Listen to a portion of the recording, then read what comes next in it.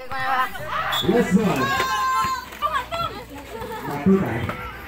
Dia dia dia. Ada ada ada. Kalau balik nak balik, kalau balik kalau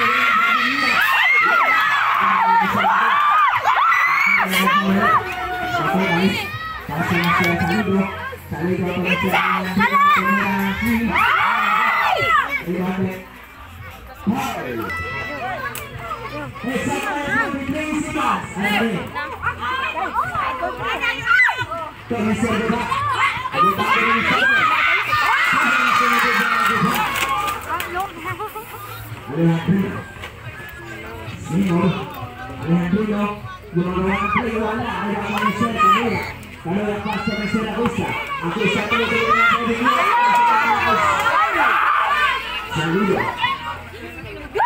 Six,